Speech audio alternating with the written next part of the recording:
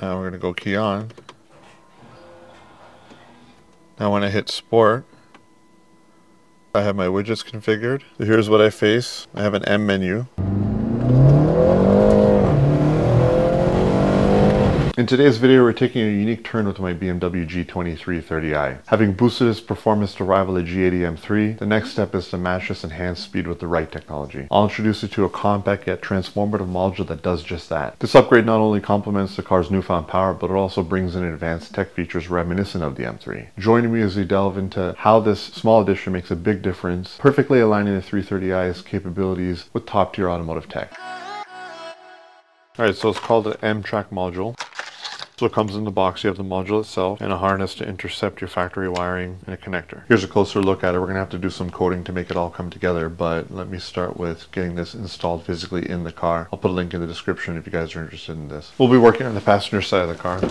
Get yourself flathead, rotate these 90 degrees, pull down, disconnect your map light, unclip that. We're to remove this plastic piece and this plastic piece here. Here's the clips inside there. This just kind of notches in right here, and then there's one at the back. Pulled this up and out of the way. Once you pop these two clips off, there's one up at the top. Goes here, here, and then up here. Now we're going to be working with this connector here. On either side, there's a place to squeeze. So do that while rotating this green rocker down and pull back. Over here, we're going to have to slide this connector out of this. Put a pick tool on the side here. That way you can slide the connector forward. Same goes for here slide these out. You'd want to disconnect your negative battery terminal before you do any of this. Separate these two pieces. So if you notice right here, it's labeled 36 and then the one beside it is 35. These have to come out. So let's start by removing 36 yellow. Use a pick tool and just press on this part here. Bring over the included harness. Insert the green where the yellow was on 36. Let's go after the one beside it. That was black and yellow. And then blue is going to go in the place of that on 35. We're going to go after the ground now, which is going to be 32.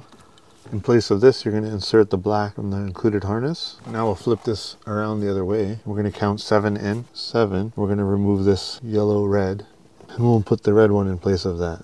Bring this piece that comes with the module. If you insert it here, you'll kind of see what colors have to go where. So red was the yellow, red. You're want to insert that right here. Now if you go to the next color, black, insert that beside it. Now the next one up is green. That was the solid yellow. And lastly, we have yellow black. Put that in there, snap this down. Now insert this into this. Now we'll reassemble this, reinsert this into this. Bring this back to the car. Rotate it up slightly so it starts to engage. We're good to go. Now bring the module over, plug this in. Okay, now we gotta just tuck this stuff away. Now bring our trim pieces back into place.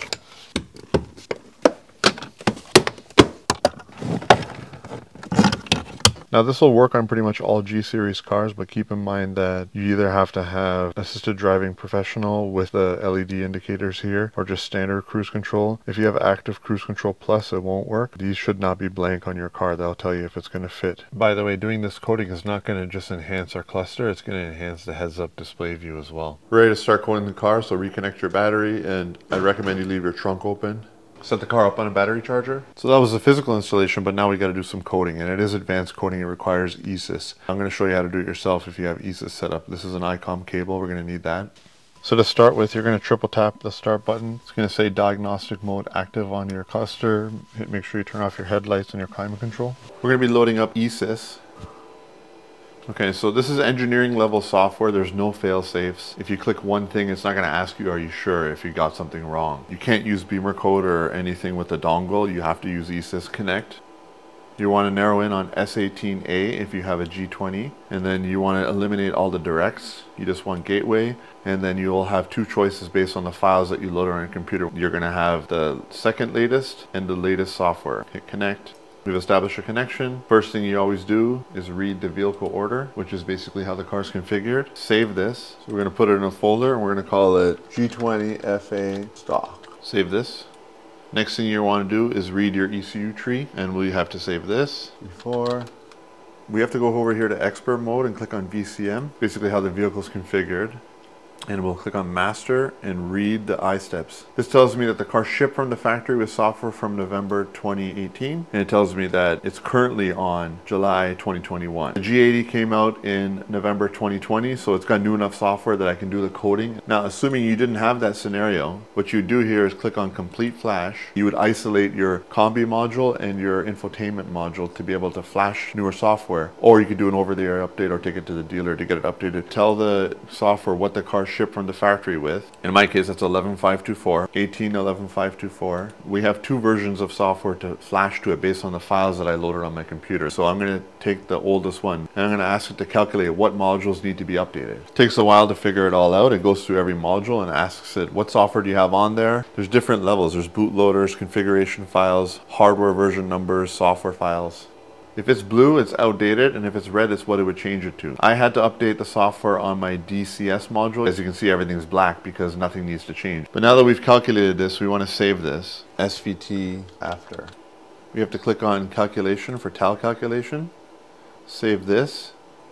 You go to expert mode, and then you'll go to TAL processing. That last file that we just calculated, we're going to put that first. It's going to be in here uncheck everything. If you accidentally hit that start button, it's going to code everything and it would be a big nightmare for you. Next thing you're going to load here, the after, how things would end up. And then it needs to know what the car is equipped with as a backup. So then we're going to go here and grab the stock FA. But you'd be selecting here decombi and then you want to update this HU MGU, you could click start. It's going to push the software so you can start coding the car. Proceed at your own risk. You should have a battery tender, not just a battery charger. You should have your trunk open. I'm actually going to show you me updating the HU MGU or the head unit media graphics unit to a newer version of software just so you guys can see what's involved. Just the infotainment system and we're going to do the software update. And you can see the progress right there, 14 minutes approximately. So that's the scariest part is the bootloader. If that doesn't go well, then the thing's bricked, but we got past that. That's what the infotainment system looks like while this is happening. Okay, and that's what you'd want to see. Okay, now we're going to proceed as if you already had new enough software in your car. So we're going to connect under expert mode, coding. I'm going to read this. It's automatically active. Save it. Call it stock coding. Now I'm going to read it again, save it again, but this time we're going to call it G20FA M-Track for the module. So that's going to be the modified version. We'll save this. Now we can edit this. When you click edit, it's going to bring you over to the FA editor. So if you expand this out, if you want to see if a car is fully loaded, just look how long this is. It tells you everything that the car has. We're going to edit this, and we're going to tell it that it's a G80. We're going to come over to the type and modify this telling it it's a 31AY, which is the code for a G80. Now if we go over here and click calculate FP, that's the vehicle profile. We're gonna see if it's happy with it and if it's actually gonna consider it legit. I calculated it and it said, okay, fine. We're gonna click save. I'm not flashing this to the car. I'll show you what we're gonna do. Over here under expert mode coding. So now it's using this. I can read the ECU trees so I'm able to encode this information. I don't have to flash the modules to be able to tell it what it is. But I'm going to collapse everything. We're going to open it back up. And we're just focused on the decombi.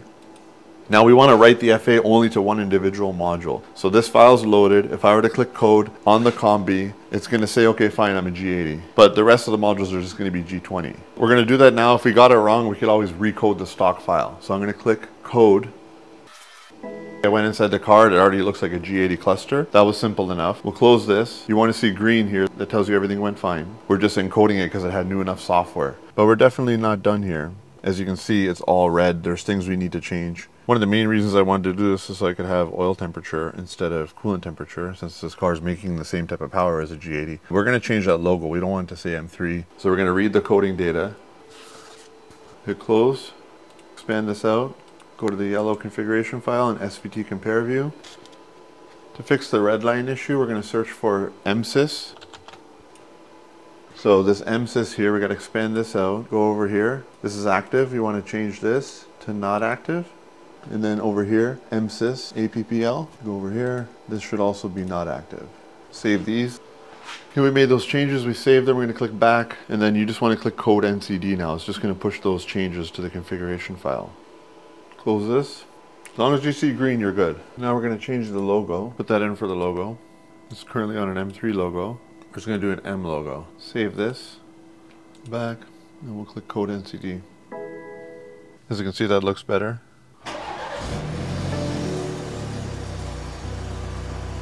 We're to search for DZM. DZM variant is set for an S58. Selecting S63 is more in line with the red lines of this engine. I'm going to code that. Found another value that has to be deactivated. This should be not active. There you go. That's how it should look. We have an M logo instead of an M3 logo. Red line is as low as it could be. It's more like 6500 on this. I have the outcome I was looking for in terms of the gauge cluster. On the heads-up display, we have all red for red line, so we got to look into that. So it's HMI Vor Warnfeld Combi. I found the same thing for the HUD in terms of not showing the red line properly. This should be not active. So we'll save this. I'm to code NCD. Okay, you can make it out now. It's indicating properly. You watched me dial in the gauge cluster and it all worked out quite well. But if you look here, technically we made one flaw and it didn't matter, but it could matter. So I want to explain one thing really quickly here. If you look at the FA, what I told you guys to do is modify this to G80, change this to 31AY, but the production date was left as November 18. There was no G80 back then. So when I clicked calculate, it should not have built a vehicle profile. It should have given me an error unless it was plausible and it didn't matter anyway. And in this case, it did not matter anyway. So we're fine. But this could affect things depending on what you're trying to do. So keep that in mind if you're ever modifying your FA by changing the whole type of the car. Now, as you had seen previously, all we did was read the SVT actual and we went down to the combi with the modified vehicle order loaded up at the top. We were able to right click here and code. And then we encoded it, got it to display like a G80 and we went in and changed the custom little values to really dial things in. And unfortunately that does not work with the head unit and I'll show you why right now. I'm at the head unit now and these SWFK files are going to be the software it runs off of. And what we would want to see is 56AE. That would be specific to the G80. But if I look at all this, I will not find that. All I'll find is 56AA, which is G20. So that means that that software is not even loaded on the module right now to be able to manipulate it and then make it display the way we want to. So if I were to go back to comfort mode and TAL calculating, we would read this vehicle order. We would save it as just our pure vehicle order. Okay, and then we would read the SVT actual and we would save that. Now, when we save it, we would choose proper naming convention because people do follow this uh, other E-Sys coders. It would be SVT IST. That would be what you'd put for the actual, the way things are right now. I've already saved that. But if I were to choose a complete flash right now, now to get around being able to push that software onto the module, the only way to do it is to change the shipment date aka when it left the factory. We're, we're kind of just making up BS here, telling the software that this car came from the factory in November 2011. You can use this 540 as the earliest. And then in terms of what we're going to upgrade to, I'm going to use the same software that's on the module right now because I already updated to it. I showed it earlier in the video. While I calculate this, it's going to analyze the head unit and it's going to say, okay, looks like this head unit left the factory around the time a G80 was made. So I, actually am trying to make a point right now. I left the vehicle order as stock. It's just loaded, not saved. And I loaded the ECU tree as it is now. And I told it that the shipment date is going to be after a G80 existed. And I told it where I want to target to in terms of software. But since it's referencing this FA, it should just be all black because I've already updated it. It should see no need to change things even though I'm selecting a plausible shipment date that would be after a G80 existed. I did the most important thing was updating the shipment date, but we're not telling it to look out for there being M software on the head unit. So if I scroll down, you guys watched me actually do this previously. If you notice, you watched me update my head unit and it's all black. There's nothing to really do here. There's no red. It's not going to change anything. It will basically get skipped based on what I'm doing right now because it's the same version. But if I were to load the M track FA, which is saying it's a G80, I'm to do the same thing again, change it back to the same exact shipment date of 2020 11 540, and we're telling it to target the same software that's technically already on there from March of this year, calculate it again. Now we're to go there and see that we should have an updated file. So now I went down to the head unit and it's going to change things. Main thing I care about is does 56AE pull up because that's M specific software loaded on the head unit instead of 56AA and it's telling me it's going to change it from that to this. So we're going to be pushing the right software now. Since we generated this, we're going to save what we're telling it is going to end up being, which is like the small little change with the 56AE right here. That'll be SOL. Now we got to do the TAL calculation based on this. So it looks like I got a couple warnings regarding the SM2 module, which won't really matter for me here. It's basically saying I'm not even finding the software files that makes this plausible, which is okay. We're not targeting that module anyway. What we had seen based on the TAL calculation is it's going to push the software I want, but the hardware would be changing here, deinstalling and reinstalling hardware. We don't need to do all that. When I go to TAL processing, it's listed as steps it plans to do based on the calculation. We don't want that. Now if I go back to comfort mode TAL calculating, I'm going to change this to do hardware IDs from the actual SVT. As it is, don't change the hardware ID. So if I click that, it's no longer planning on changing that. It went black, but we still have the software update that we wanted. So that's good. That's how it should be. So I should save this as my target. Now I can recalculate. We still have the detail about that module, SM2, that doesn't matter. Now if I go back to expert mode, TAL processing, I'm not gonna load the same file now, I'm gonna reload the calculation. Okay, so that's how we did it. I adjusted my TAL calculation to where I said to force the hardware ID based on what's already there. Don't change that. So it's not going to hardware install and deinstall and all that. It's just going to focus on the software. So, and I told it to reference the M-Track vehicle order for making sure it makes sense to it. It says this is not executable. If I click on check software availability, which you should do to make sure you have everything if you're trying to do an update, it's saying we're missing something. It's not happy. It's actually saying this hardware didn't even exist at that time, from what I understand. It's one of the modules in my car. So like, why are you taking an old module and trying to use new software on it? It would have been a different type of module something along those lines. But, and I wouldn't be able to flash just a head unit right now. If I clicked on this, it wouldn't let me do it. It would still by default check for this and then fail the update because it doesn't care that you're trying to do one ECU. It still looks at the whole picture. So what I'm gonna do is go to options, settings, and where it says check software availability before TAL execution, I'm going to uncheck that. And you want to make sure update BCM and update MSM is not selected. By default, it shouldn't be on your car. But this is going to make it so I can actually flash. Now if I click start, it should let me do it. For the head unit, make sure you're selecting the right thing. Now a failsafe that you would normally populate is your target to see if it's going to check between before and after and all things considered and if it makes sense. And it may error out saying, well, hey, this doesn't make sense in terms of the way the car is equipped. You have the option of leaving that blank so that it won't do that fail safe and you're just going to tell it to follow the exact instructions based on the TAL calculation in your modified vehicle order. So if you're doing a retrofit, then you would be leaving this blank to be able to tell it, by the way, this is new. So we're kind of telling it it's new because it's loading software for G80 on the head unit. So I'm going to click start.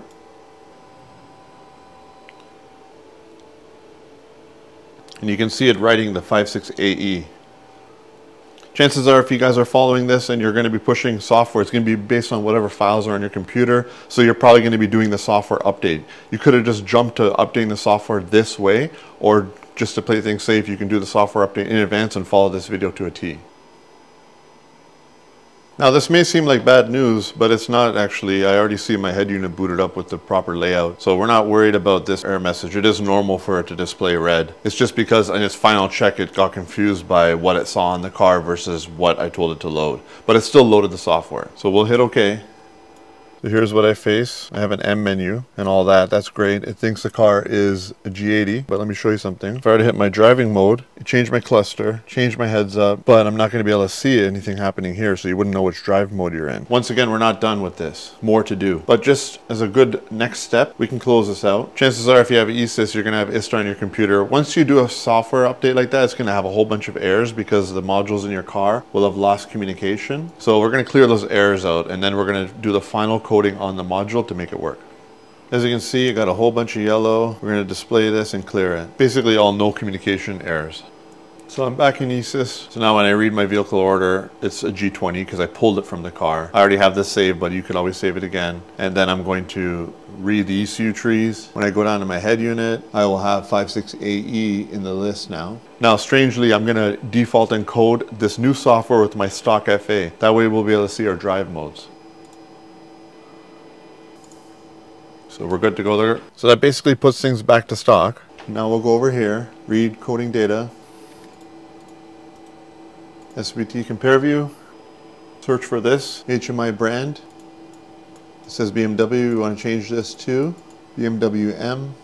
Next thing, B-A-U-R-E-I-H-E, -E, right here, go down. This says G20, we want to change it to 5D, which is for a G80. So now it says G80, which equates to 5D. Click Save, go back, code NCD, and click Close. So now it's got the M layout, and if I click Sport Mode, I can actually see what mode I'm in. Comfort, Sport. I have to recode Sport Plus and whatnot, which I'll do now to get it back to the way it was beforehand. Okay, so next thing I'm doing, since I encoded the car as my stock vehicle to see the drive modes, I have to change all these settings under this 310M when I'm in the module. So we're gonna start right here. We're gonna go to M vehicle, tell it that it is, say active, HUD. So I'm gonna go through all these. Now if you see a value that you're unsure of, make it wort 2.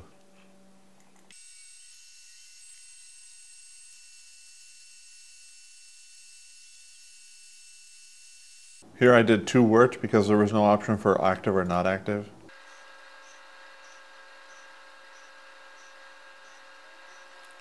I'm skipping this because I already did this. Save this. Now we're going to code this now did some off-camera testing. All these variables up until Modbus, I didn't change this. I changed everything here except for M drive, that's for all-wheel drive. I left that out. It doesn't make a difference anyway, but change all these values to active if they were inactive or not active. And then I selected this one, SP 2018 to active. And then you gotta leave this to inactive if it was on a ID6 car. This is for previous cars. But after 2018, it's iDrive 7, so select this one as active. So as you can see, I got widgets configured. And if I were to hit comfort, I'll know that I'm in comfort and I can configure my sport. That's what a lot of people want with this module. And the way you configure the widgets is under the M menu. You can go to instrument panel and then you can configure your view. These won't do anything. That I can configure my heads up display for M view. That's fine. But that's the main thing you're worried about. So everything will display properly. Otherwise, this will be in the wrong position and will overlap underneath the RPM gauge. I tried to mess around with changing the car art, but it's part of the software. I believe because of the way I have things set up where it's triggering the modes and showing it on the display, it's not going to show the right car art. I can't find a way around it. If you guys know, put it in the comments and I'll look out for it and you can let others know. And just so you know, I did modify trim lines. It made no difference. It's embedded in the software. I'm just showing you this. I don't really care about this, but the startup animation is BMW right now. I think some of you guys would want it to show BMW M. Coding's in progress. As it reboots, you should see BMW M on there. There you go. I just got done recoding all my settings as I had them before. I have comfort, but just as an FYI, comfort plus on this module will let the car drive comfortably, but it will trigger this M view if you want it. So you can turn on that feature. I have a video I'll put in the description about how to code comfort plus. It's recommended for this module. But now I can see that I'm in sport plus. That's perfect. When I'm driving, I can easily see what's going on. So I guess the only downside is the fact that we have art that doesn't necessarily match 100%, but it doesn't really bother me. You can't really tell anyway.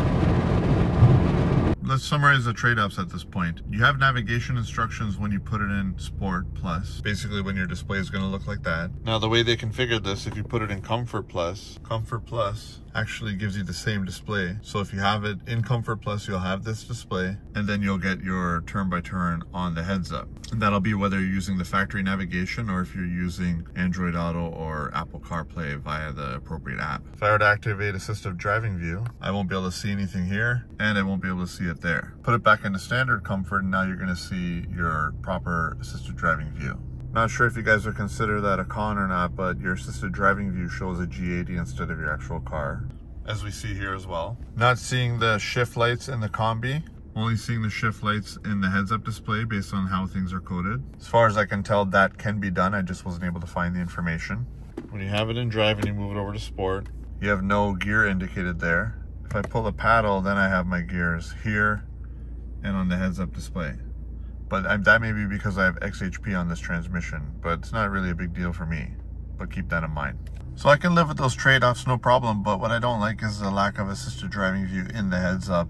Now, if I were to flash this back to stock and code it, I would be able to change this so that the view could be configured for standard or M view. And then if you're to toggle off M view and go back to standard, you may get your assisted driving view back. But as far as I can tell with the software that I had to load on the head unit to be able to see when I switch modes like this, that led to it not allowing for it to have coding to be able to switch it back to see the standard. So really you're just kind of forced to lose your assisted driving view in your heads up. These modes here don't correlate back to what the gauge cluster can understand, but they do when it's in sport mode, just not road. Road is defined different than comfort. And I think that's the main issue here. I've had a number of clown emojis in the comments every time I say that this has got the speed of a G80, but you can kind of tell if you saw my acceleration in those clips. This thing has a power to weight ratio just barely slightly better than a G80 and it feels like it accelerates slightly faster than the one I had. It makes good torque and it has similar wheel horsepower and it weighs a little bit less. And does the G80 have insane potential? Absolutely. You could just throw a few thousand bucks at it and make like 300 extra wheel horsepower. This in no way compares to a G80 in terms of potential, but it was pretty awesome the fact that you could double the power it makes on the stock bottom end and I've been enjoying that. And I think it's relevant to have that display active because there are times when you're ripping through first gear and this thing finishes it so fast that you're going to want to know when it's time to shift. You put the simplest mods on a G80 and would absolutely smoke this thing. I'm just trying to make a point of what type of speed you could reference. Coming up in a future video, we're going to be installing a heat exchanger on this car and we'll also be installing an upgraded intake manifold. So mission accomplished in terms of getting what I wanted out of this module. It was primarily to get me a track focused view on my gauge cluster in Sport Plus mode and the full size RPM gauge on the heads up display and primarily the shift indicator on the heads up display. That way while it's going a little squirrely in first and second gear I can keep my eyes on the road and shift at the right time. So I did spend about a week or so messing around with the assisted driving view to see if I could get it to pop up in comfort mode and I wasn't able to get it done. So if you guys have any contributions or have any know-how about how to do that, please leave it in the comments and then we'll address it. Thanks for watching.